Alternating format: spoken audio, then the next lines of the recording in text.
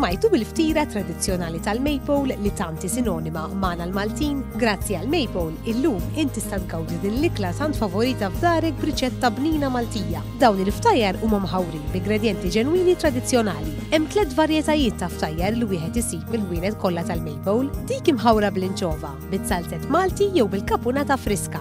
Sajjar il-ftira fil-forna l-20 minuta biss. Maple, għal dejjem l-ewwel fis-servizz u kwalità.